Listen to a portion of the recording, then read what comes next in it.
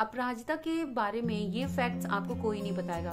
लेकिन मैं आज आपको इस वीडियो में बताऊँगी अपराजिता से जुड़े हुए कुछ फैक्ट्स शुरुआत करते हैं अपने अपराजिता के पौधे के बारे में। फ़र्स्ट फैक्ट अपराजिता पौधे के जो ताज़ा पत्ते होते हैं, उसको इस्तेमाल किया जाता है लैक्टेशन नामक विशेष गुण होता है इसके पत्तों के अंदर, जो कि इम्यूनिटी को बढ़ाने का काम करता है।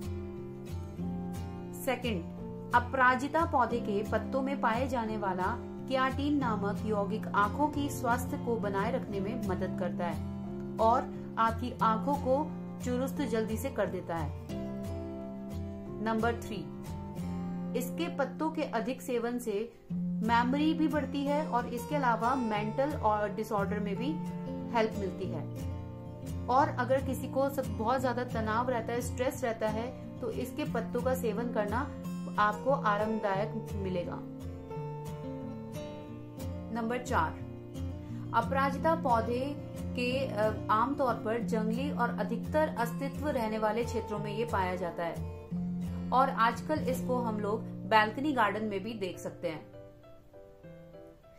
नंबर पाँच, इसके पत्ते एंटी इन्फ्लेमेटरी गुणों से भरपूर होते हैं, जो विभिन्न प्रकार के इन्फेक्शन या स्वेलिंग को कम करने में भी हेल्प करते हैं। Number six.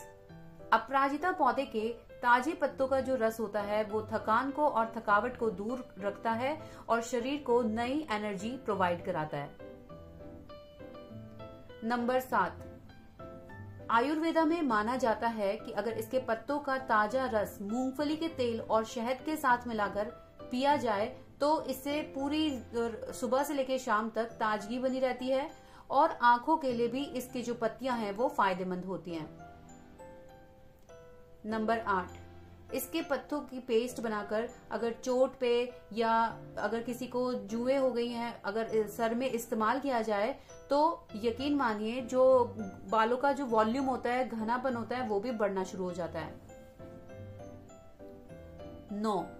अपराजिता पौधा विशेष प्रकार के फेल्वोनॉइड्स, टैनिन और फोनेलिक अमल और अन्य प्राकृतिक योग्यताओं का स्तोत्र होता है। इसीलिए इसको आयुर्वेदा में नंबर वन की श्रेणी में रखा गया है।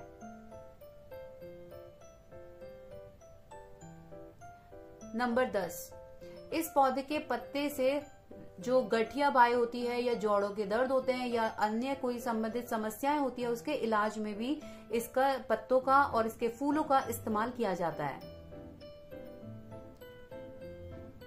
अपराजिता पौधा गर्मी के मौसम में तो बढ़ता ही है, लेकिन सर्दी होते होते इसके सारे पत्ते शेड हो जाते हैं और ये सूख जाता है। लेकिन ये खुद से सीड्स को निकालता है, बीज को उत्पन्न करता है, जिससे आप दोबारा से इस पौधे को ग्रो कर सकते हैं। अपराजिता के जो फूल होते हैं, उनमें ऐसी कोई महक नहीं होती है। लेकिन फिर भी ये पौधा वास्तु के अकॉर्डिंग माना जाता है कि शिव जी और पार्वती जी को चढ़ाने पर सारी मनोकामनाओं को पूर्ण कर देता है।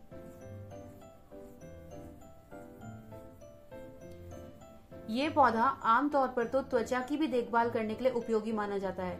और ऐसा भी माना जाता है कि अगर तेल के अंदर इसके फूलों को सुखा के उसको अच्छे से फ्राई करके इस और इसका एक उपटन बनाया जाए तो तेल से मसाज या त्वचा के लिए उपयोग किया जाए तो उससे मुहासे और जो पिंपल्स होते हैं, जो एक्नेज होते हैं, वो खत्म हो जाते हैं।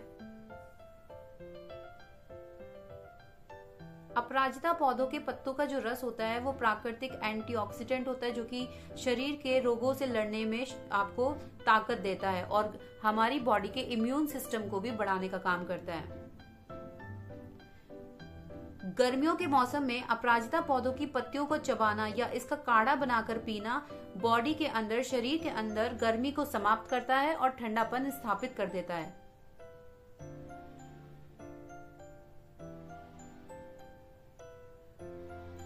अपराजिता के पौधों का इस्तेमाल जैसे कि लंग कैंसर, अस्थमा में भी इस्तेमाल किया जाता है। तो इतने सारे गुणों से भरपूर ये अपराजिता के पौधे को आपको अपने घर के अंदर ज़रूर लगाना चाहिए। ये इन्फॉर्मेशन आपको कैसी लगी ज़रूर बताइएगा और गार्डन गपशप को सब्सक्राइब कीजिएगा बेल आइकन को प्रेस कर दीजिएगा, ऐसी ही इंटरेस्टिंग इन्फॉर्मेशन के लिए।